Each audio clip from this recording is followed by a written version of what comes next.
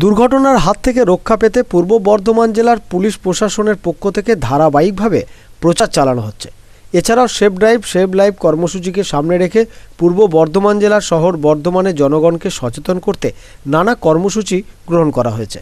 কিন্তু কতিপয় মানুষ প্রশাসনের এই সচেতন বার্তাকে কর্ণপাত না করে হেলমেটবিহীনভাবে দুচাকার গাড়ি চালাচ্ছেন। বুধবার বীরহাটা ট্রাফিক ওসি বিশ্বজিৎ পাইনের নেতৃত্বে অভিযান চালানো হয়। এদিন হেলমেট না পরে গাড়ি চালানোর অভিযোগে প্রায় দুশোটি দুচাকার গাড়ি আটক করে আইন অনুযায়ী ব্যবস্থা গ্রহণ করা হয়।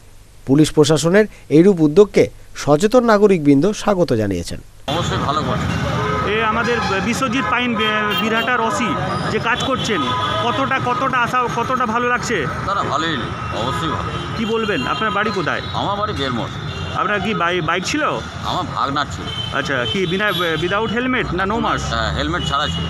তাহলে এতবার প্রশাসন বলছে safe drive safe life helmet পরুন নিজের জীবন বাঁচান। কেন হেলমেট পরছেন না? ভুল করেছে বাচ্চা ছেলে হয়ে গেছে আর তো কিছু করার নেই? এবার সেটা কি ধরে আগামীকাল থেকে হেলমেট পরবেন? অবশ্যই করবে